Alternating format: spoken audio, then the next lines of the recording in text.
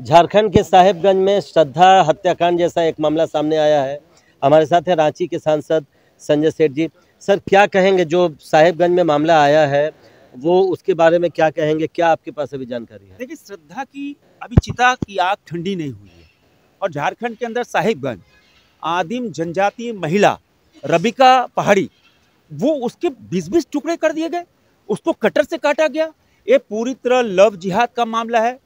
दिलसाद ने दूसरी शादी की उस पर धर्म परिवर्तन का दबाव पड़ रहा था। जब उसने धर्म परिवर्तन नहीं किया तो उसके टुकड़े कर दिए गए।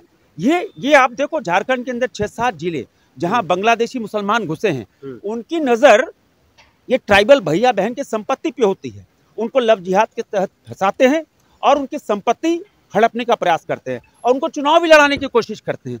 यह पूरी तरह हम कह सकते हैं मामला बहुत गंभीर है और हम तो मांग करते हैं कि एसआईटी गठन हो सी और आ, इस पे फांसी की सजा होनी चाहिए। ये एक गंभीर मामला है राष्ट्रीय स्तर का मामला है। क्या, क्या केवल एक मामला कुछ दिनों पहले दुमका में हम लोगों ने देखा था दुमका पलामू रांची आपने देखा होगा दो दो बेटियों को पेट्रोल छिड़क कर आग लगा दी गई। ये आतंक बनाया जा रहा है जितने बांग्लादेशी घुसे हुए हैं उनका काम ही है कि लव जिहाद के तहत अपना नाम पप्पू अजय कुछ रखकर ट्राइबल भैया बहन को फंसाओ।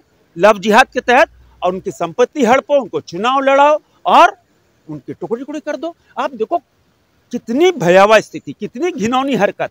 कटर से काटना बीस बीस टुकड़े करना ये तो ये तो कहते पराकाष्ठा है। क्या इसे आप लोग संसद में भी उठाएँगे राज्य सरकार से निश्चित रूप से ये ये कोई झारखंड का मामला नहीं रहा।